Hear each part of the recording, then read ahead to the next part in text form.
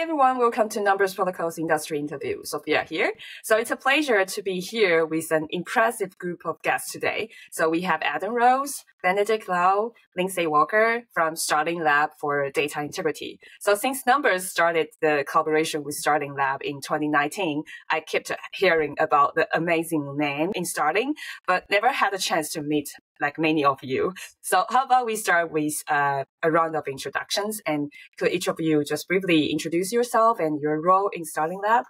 So maybe start with Adam. Sure. Well, thank you so much for having us. Uh, we've had a, a, real wonderful collaboration with Numbers. I know even before when I joined Starling Lab a little over a year ago, uh, I'm the COO uh, here at Starling Lab, and I come from a background in journalism of about 20 years, working for different major outlets.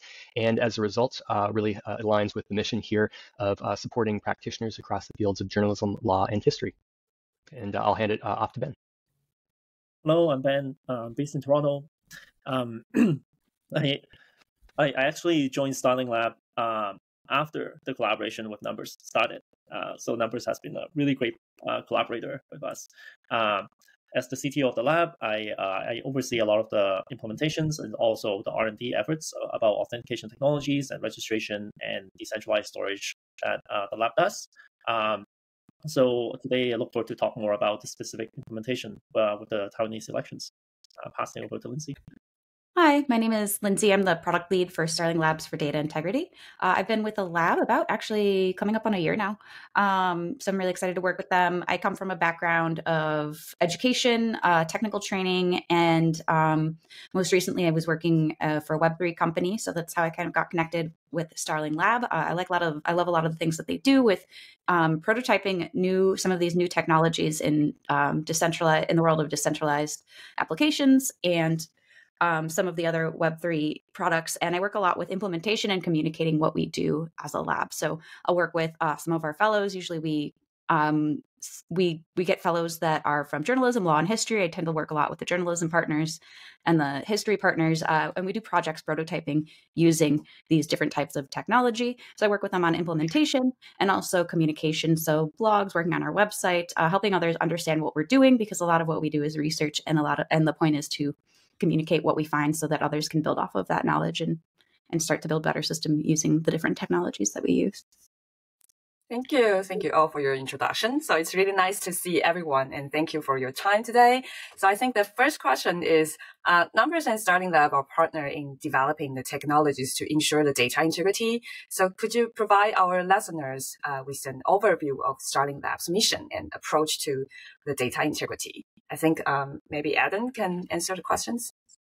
Well, I'm happy to start, but uh, really, I think everyone on the team uh, can provide different sets of perspective, and we all really yeah, work together sure. on this.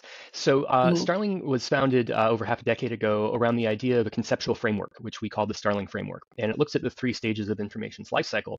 Sometimes, you know, it's interoperable where these go back and forth. Sometimes it's sequential, uh, but the main idea here is that we look at the stages of capture, store, and verify.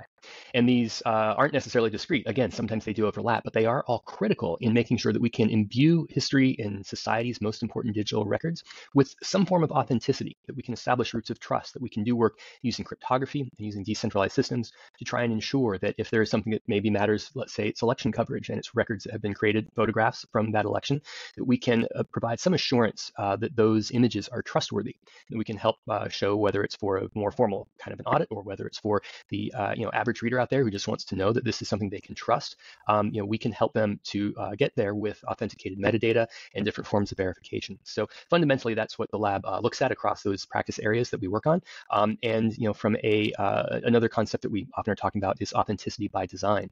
And so, working with numbers, we're trying to make sure that from the very early stages of different systems that are being created, we are making considerations and active choices that reflect the values of uh, authenticity and helping people to understand aspects of integrity and verifiability. So um, ultimately, all of this work gets people to a point where, as I said, trust is what we're really working on. There are always going to be questions, whether it's in an election or other situations, about you know what is true and what is false. And so we don't arbitrate that. Instead, we help mm-hmm. people to examine the records and understand those records uh, of what they can trust to make informed decisions for themselves. Mm-hmm. Anything want to add up, like Ben and Lindsay, about the overview of the Starling Lab? Yeah, I mean, I think actually what I'd like to do is define the word that that is integrity. I found a really good definition of this uh, recently. Yeah. So, and authenticity. So, authenticity is being the, it, it is the true nature of something, right? So, a lot of the work that we do is, like Adam said, we're not here to establish the veracity, but we are here to help people uh, assess authenticity. So we provide information that is authenticity information. Uh, so I was reading about okay, what is the definition of integrity? When you're talking about ethics, integrity is um, staying true, staying authentic uh, with a framework, and our authenticity is our our authenticity and integrity. Um, authenticity for us is having that metadata, um, digital information. Our integrity is, uses the framework of capture, store, verify. So um, when we are defining integrity, we talk about we are staying true to what something is using our framework of capture, store, verify. And we make sure throughout that process that we are capturing, preserving, and making sure it is um, unfakeable, unforgeable, immutable, that di- digital information um, continues to have integrity so that people in the realms of journalism, law, and history, where authenticity is high stakes, can establish that. You can see there are a lot of words that are uh, sometimes have uh, meanings that are similar, and it's really difficult for us to, as a society, come to like the same agreement on on uh, what what integrity means, what authenticity means when you're looking at digital media, like what what what is actually verifiable, what can I trust. Um, so a big part of Starling's job is to establish uh, and, and, and innovate and work with people to to uh, have a more consistent understanding of of these uh, at the time of like misinformation. Um, and the other part is to innovate and build the tools that will allow us to better uh, showcase this thing with better UX and uh, using cryptography, using uh, decentralized systems um, to to make sure that these things in the process of being uh, being adopted is not being like misunderstood by the public. Mm-hmm. Thank you all for your explanation, and I think it's very important to uh, really have a definition of the integrity and authenticity because people are uh, when we talk to people, they are kind of uh, look these two words very serious and starting to having bunch of questions about it. So uh, unlike my other two co-founders, I my technology is very limited, but I feel what Starling Lab is doing is very important, and uh, I think your use case based approach makes the framework very practical. So companies like uh, we, like Numbers, we can build the commercial solutions based on it, and then extend uh, even more use cases. So talking about the use cases, uh, there will be many elections happening in 2024. So we just um, had an election in Taiwan and it, took a lot of attention um, from the global. So with the rise of the generative AI, many people are concerned about its impact on the elections and the news media industry. So could you please elaborate on how the technology developed by uh, in Starling may help on these uh, questions? Maybe starting from Adam. Sure. So, you know, there's so many uh, issues that can arise during the course of an election, many of which uh, come through and are distributed to the public and to the electorate through the media. And it's important that the public be able to trust that media that's coming to them to make those decisions when they go to the ballot box. Uh, the problem is that in this day and age, as you've mentioned, you know, there's generative AI, there's deepfakes, and, you know, frankly, there have been issues for decades with photos and, and different types of media content that have been edited, sometimes inappropriately. And what is even a permissible edit is often a question. So, across a suite of different tools, tools and technologies, Starling is working to make sure that people can have some way of authenticating and verifying later on uh, whether or not an asset is real. So maybe that's a photograph, maybe that's a video, maybe it's even a, a web recording. You know, and one of the issues that we see mm-hmm. is that people will post things in elections uh, online and it might just disappear. And so we use tools, say like Web Recorder, which is a great free and open source tool, which allows you to not just take a screenshot of a website, but actually create an authenticated uh, recorded version of your experience going through it. Not just like a video, but fully replayable, where as you go through and click on each page, it records that page. And it's also, depending on how it's set up, able to pick up uh, information related to the servers that the information is, is coming from. So you can actually show that material comes from a particular uh, service, that you can actually show the date and time that it was recorded. And that way, if the post disappears from a social media site, which may be pertinent, maybe it's something that would relate to, uh, you know, a, a, post that someone has made in a in a group related to, say, it's a politician's account, uh, and they say something, you know, that would be potentially disqualifying, or that would, you know, the electorate electorate would want to know. It it makes it very hard for them to deny it when this has been captured in a way with authenticity. We think about photographs and video, of course, and, and there's all sorts of things that maybe it involves a politician themselves, but it can also involve the election and the integrity of the voting system.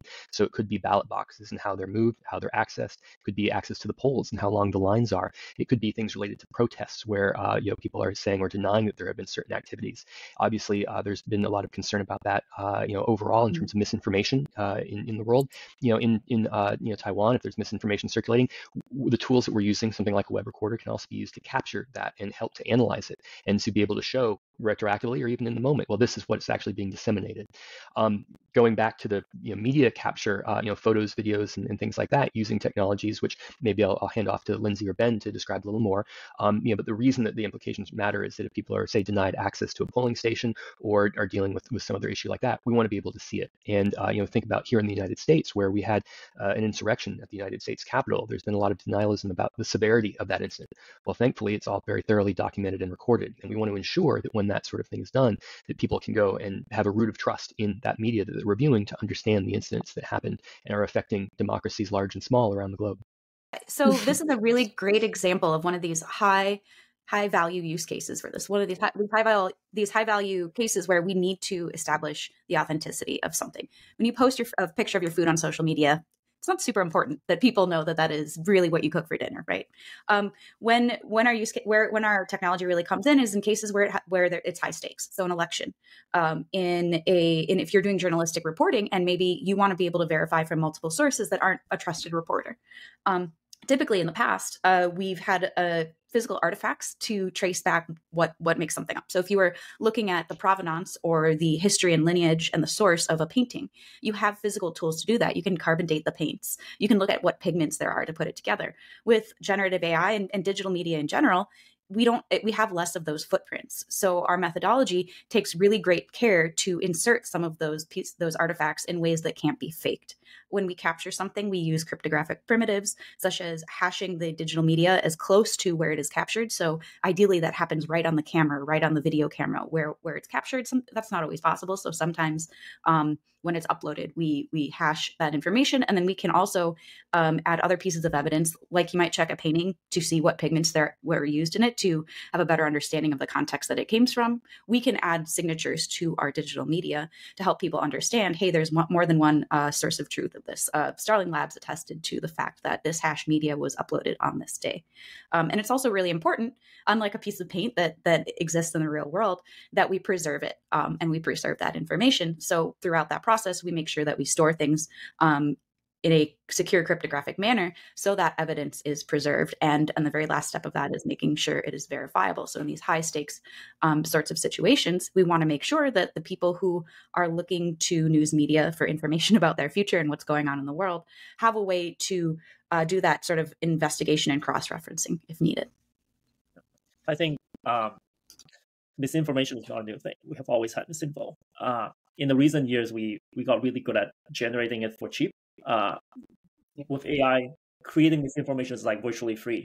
Um, but then there isn't, but but debunking misinformation is still really expensive.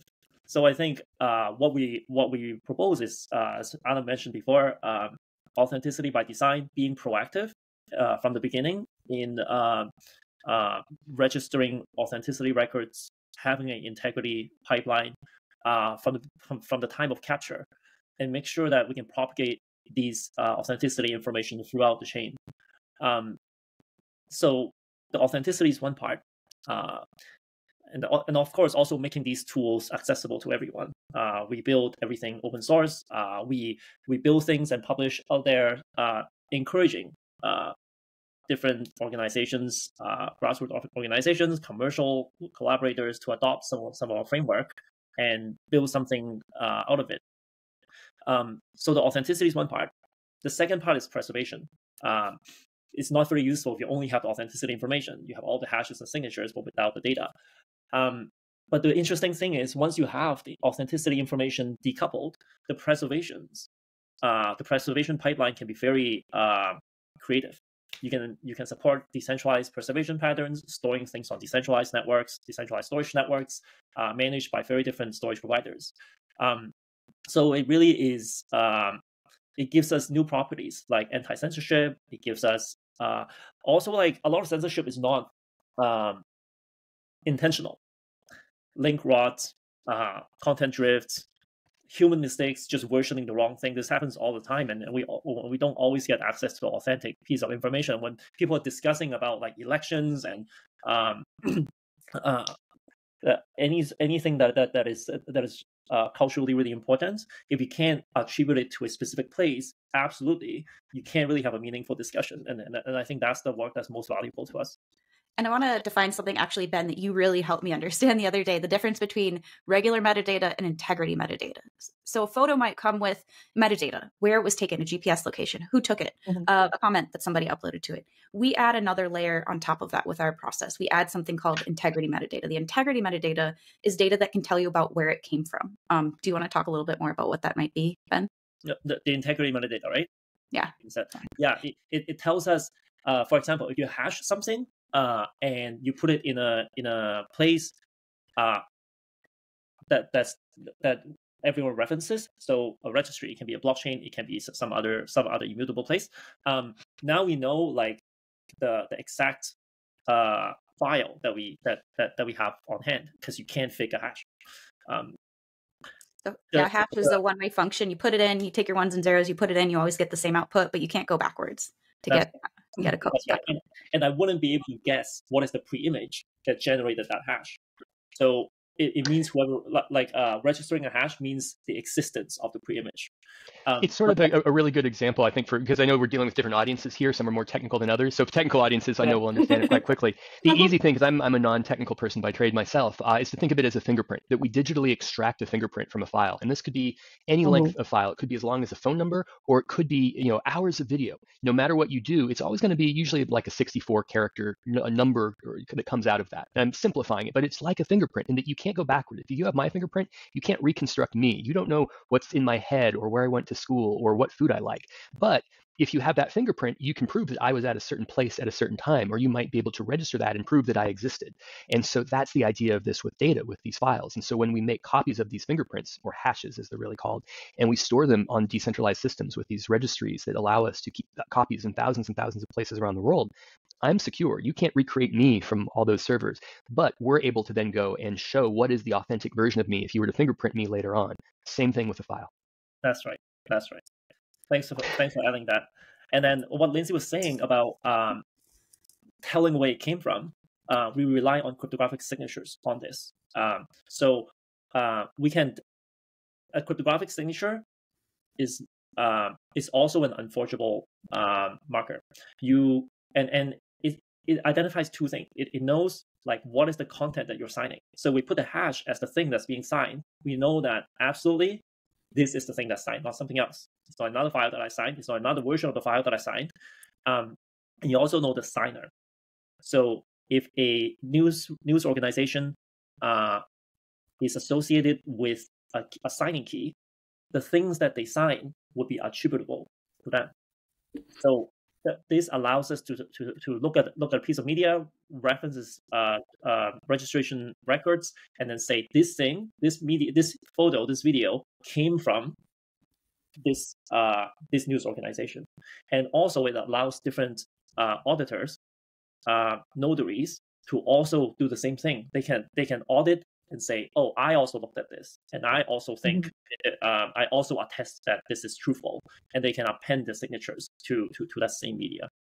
It's like signing a contract. It's somebody uh, saying that, you know, if you sign a contract, you're putting your name on it and you're saying me, my identity. Maybe hopefully you check my driver's license or my passport first to, to prove I am who I am. And same way, hopefully you're checking somebody's digital signature so you know who, who they are. I attest to the things stated in this contract are what's true and similar things can happen. So places that we might sign something is uh, we can have a device and a, a proven device's mm-hmm. identity sign a, a, picture when it's taken or um, we can have um, one thing that we often do is when files are uploaded to our servers we sign it as well and our, our identity mm-hmm. our starling lab identity is saying hey my identity is attesting to the fact that i did this and that i'm I'm the one who signed this contract or I'm the one who did this action. And then, like Ben said, it's like a notary at a bank. Somebody later on can go in and check that you are who you say you are and check your signature. And they might put their stamp on that too and say, this is, this is, uh, according to what I checked, this is the truth. Mm-hmm. Thank Something... you for this Yeah, yeah, Adam. Continue. Sure. Well, something I'd love to do to kind of connect it back to yeah. your original question, because uh, I think there's a lot of really uh-huh. important threads here, and so I hope I hope that this is yeah. bringing people up to speed on the technology and the concepts. But the question is, why does this matter, especially with elections today in an age of uh-huh. generative AI? I'd like to bring it back to something that Ben said a few moments ago that, you know, when you have information that's already out in the world, fact checkers are doing extraordinary work trying to figure out what's true and what's false. And it's a very challenging job, and I really respect that. Very important, obviously, recently in Taiwan's election. It's going to be increasingly important in the election here in the United States, as it has been, and in dozens of countries around the world this year who are having elections. Um, so we focus, instead of going downstream, once information's been released and gone through all sorts of media and platforms, Starling focuses on getting upstream to that information, closer to the point of origin. That's often the best place to imbue the, these sorts of integrity and authenticity markers. And so, in a really big picture sense, I'm going to try and uh, share my screen here if I can. I might not be able to, so uh, I will, Sophia. I'll send the link, um, you know, if, if it's possible yeah. to show on screen after this recording. Mm-hmm. Um, but there was an article in the Washington Post uh, a few days ago, and um, yeah, unfortunately, I'm not able to, to share my screen. But I'm going to read the headline and the subheadline. The headline is AI is destabilizing the concept of truth itself in 2024 elections. And the subheadline here Former President Donald Trump is among a growing cadre of politicians around the world blaming AI for damning photos, videos, and audio. And I think you know viewers in Taiwan will certainly remember the incident that happened fairly recently with a politician uh, going in and out of a hotel on video, allegedly, and the dispute that came after that about whether or not that was a deep fake or AI generated somehow. Um, you know, in the United States, uh, we face similar sorts of questions, and around the world, this article I think does a great job explaining how this is increasingly becoming a problem and a very predictable problem at that. Uh, it's something that researchers sometimes refer to as the liar's dividend, because the more and more people deny things, the dividend that pays off is it gives liars, people who are trying to deny the truth, uh, a chance of at least causing enough confusion, sowing enough doubt that their denialism works. So Starling, instead of going to this downstream side of it, we try and go upstream in that information flow and then to provide uh, this sort of uh, information that whether it's embedded in the file itself or you know comes with these registrations and decentralized systems, whether the storage and preservation is done decentralized, allows people to have original assets to compare to uh, and to decide for themselves uh, in a world where so much information is unreliable. Thank you. Thank you, Adam. So I once heard, um, just echo uh, what Ben mentioned. I once heard that uh, 10 years later, it is projected that there will only be 1% of the internet content is created by human and all the rest are from AI. So I think what's important is to make sure the provenance is traceable. So in the end, what matters is not uh, whether the content is AI generated or not, but how we can establish a reliable way to distinguish it. So I know Starling uh, use open source tools and best practice and case studies to secure the capture, store, and verify digital content, and the applications across news media, historical preservation, and legal accountability. So can you please share one use case that makes you feel the most impressive? Yeah, and before we get to that, I kind of want to point something out too. Um, it's something interesting that we saw at the Content Authenticity Initiative conference, um, and mm-hmm. that is the idea of model collapse, right? Uh, it may or may not come to pass, but um, when AI models train on AI generated data, um, a lot of what, what is called hallucinations start to occur. Uh, you yeah. start seeing really, if you look if you look at a photo, you can see this really easily. Um, the photos being generated stop looking like humans. There's really weird uh, malformations going on in the pictures. Um, and one way people are trying to f- prevent this is to put a tag on it that it is okay. This is AI generated data. This is not AI generated mm-hmm. data. I also think this could be valuable where maybe people who are trying to train models want to see uh, photos with authenticity and provenance or a trail yeah. of, of, of, where they originated from. So that's an important thing to consider. It's a whole different problem we're addressing, but I think it's mm-hmm. going to come up as well. But um, I'll let Ben and Adam talk since they have more experience with different projects than I do. They've been going back a lot farther.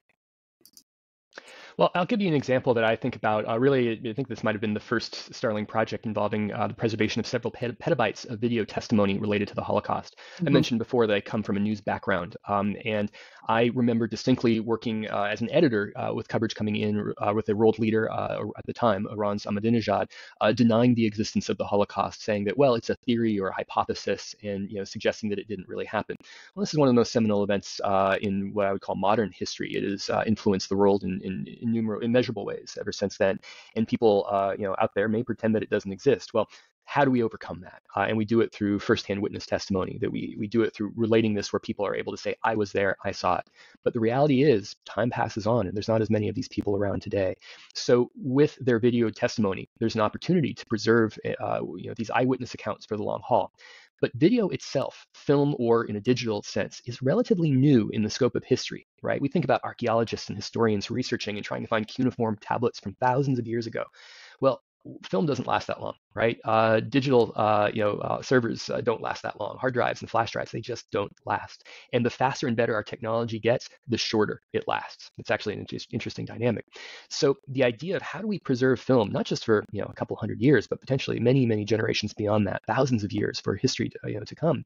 Well, it's going to take systems. It's not going to be in any one singular place, most likely. And so to me, the most impressive use case is to think about where we are as humanity, what this means for you know our understanding of ourselves as a, as a species, as, as you know, uh, in terms of the ethics, in terms of the, the meanings of our stories, um, which are important. And so we don't just uh, you know try and maintain things through oral histories as we have for millennia, um, which is an important and valuable thing as well. But that we're able to provide um, more rich context that uh, prevents denialism and helps people understand human nature itself, uh, you know, thousands of years from now. Those are big, sort of audacious uh, thoughts, and it's why I'm here, in, in large part because of the work that Starling's been doing to try and uh, preserve humanity's most important records in every sense. So, to me, um, the idea of looking at that really long-term, uh, you know, approach to preservation, you know, we don't know what it's going to look like, but we're doing our best with the technologies we have, and, and that excites me. And for me, so personally, so as mentioned previously, there's are there are many like elections in 2024. So I'm uh, looking forward to seeing Starling and Numbers technologies to be widely adopted. Uh, for example, the Taiwan election project. I think that's the yeah so far the most impressive uh, use case for me uh, uh, for working with the Starling lab. So the Taiwan election project that we partner together in early January is a good example. Like content and their metadata are captured onto the blockchain and then stored on the decentralized uh, web. And the journalists and the media may have different opinions. However, as a Taiwanese voter, knowing there is a reliable content uh, source uh, with neutral and immutable records that makes me feel safer, like emotionally. I recently did a project um, with uh, Black Voice News, um, mm-hmm. and there a big issue that has been arising in the United States is the fact that um, there's unequal not not only healthcare access but a lot of unequal um, unequitable uh, conditions and environmental factors that are contributing yeah. to racism as a public health crisis, right? Um, mm-hmm. So we worked with Black Voice News, who did a series on racism as a public health crisis, and they went to different um, local, they might be county, state uh, jurisdictions, and representatives of the government or of the people or you know municipalities, and a lot of them had these um, pledges that hey we're going to address this problem of racism as a public health crisis. We're going to put forward xyz resources and do xyz mm-hmm. funds. And a lot of these happened on government websites city websites municipal websites.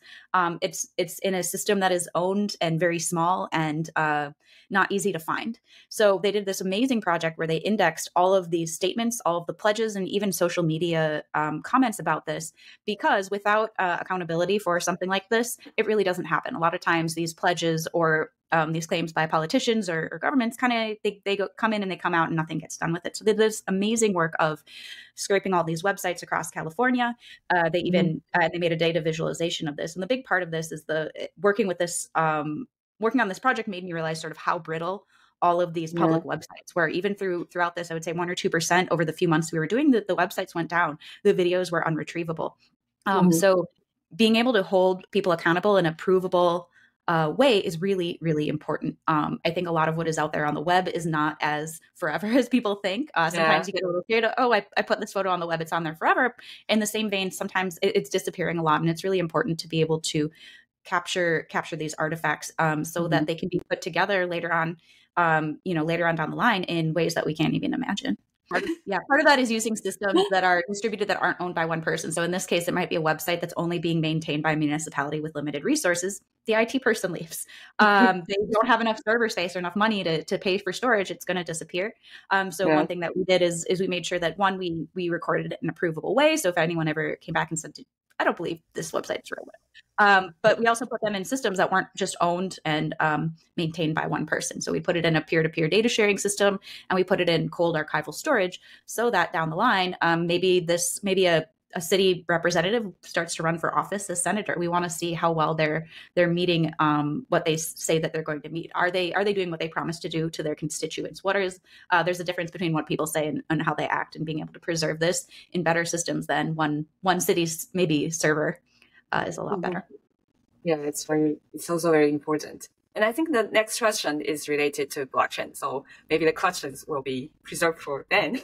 so I know Starling uses both uh, blockchain and standards like C2PA to ensure the content provenance. So based on your experience and feedback from the actual use cases, what are the pros and cons of these two technologies? And, and um, why have you chosen not to rely solely on one, but uh, about adopt the 2 mm-hmm. Yeah, I, I, I think of like uh, integrity information, authenticity information. There are, two, there are three ways to um, bundle them. Uh, one is you have a you have a sidecar file. So you basically mm-hmm. have the original assets, and then you have another piece of data and then you kind of share share this like among your peers. So if we are in a partnership, uh, maybe two, two, two news organizations want to share information, they will share the same information with one another alongside the, the, the, the digital assets. Another way is to embed the information in the asset itself. Um, mm-hmm. So both of these use cases are supported by, uh, by, by C2PA. You can have a C2PA manifest that, that is uh, as a separate file. You put it into the in, into the data. The benefit of this is, well, you don't really need another place. You don't need a centralized registry to look up anything. Um, uh, people can form um, people can uh, just share information without any uh, overhead. They don't have to deal with tokens, uh, and uh, there's also less risk of uh, leaking private information that don't that they don't want to reveal because everything is just kind of between the parties involved. Um, another another way is to publish it to a central uh, registry, such as publishing to a blockchain. Um, it's great that you don't have to figure out the distribution mechanism. You basically agree on a place to look up things, and that becomes like a uh, like a source of truth. Um, but then there are many blockchains, the longevity of blockchains, uh, and uh, what it would take to compromise a blockchain uh, uh, over time. Uh, we're still in the early days of, of the technology, so some of this is not sure, for sure. Um, and also, we usually it's a more complex system because you have to deal with tokens because uh, massive mm-hmm. uh, but like what gives it the security is also the fact that it's a massive uh, public infrastructure it also uh, takes a lot to operate a a uh, a properly decentralized public blockchain so using that infrastructure having things run by multiple parties again and again costs a lot of money um, so the downside is, well, if registering every single photo that's taken requires a payment, um, how accessible is this technology? Uh, mm-hmm. Maybe a big news organization can choose a subset of the photos that's super important to preserve. But can a grassroots organization or a uh, citizen journalist do the same thing? So um, it, it, none of these problems are like insurmountable. They just require different solutions and require different, yeah. uh, uh, like understanding and prototyping to figure out what's the right uh, way to use them. So at Starling, we we recognize all these as like legitimate solutions to a problem. Uh, we, we, we use we use C2PA usually to uh, publish the final asset. So so mm-hmm. we, we can put right on the website that we're showing the stuff. Uh, people can download that photo and then verify independently without looking up to any blockchain.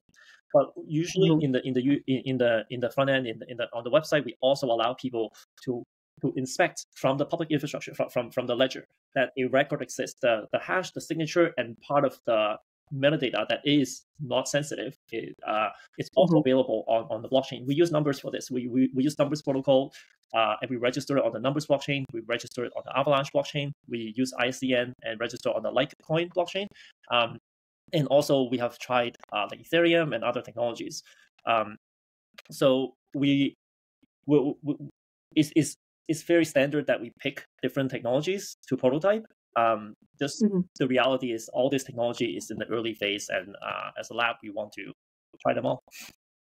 And uh, to take a step back to kind of identify how we use blockchain. So what we do is we take the integrity metadata, right? We take a hash of a photo, we take a signature of a photo, um, and we put it on a blockchain. We don't put all the data. We're not putting the photo on the blockchain. That's a big kind of misconception with a lot of these things. We're putting a record of the fingerprint and the signature that it exists that it existed. And the reason that this is good is if I uploaded it to Amazon, if I uploaded this just this list of what existed to Amazon, Amazon has complete control over um, is it going to go on the ledger? Is it going to go on this immutable database that that lasts forever?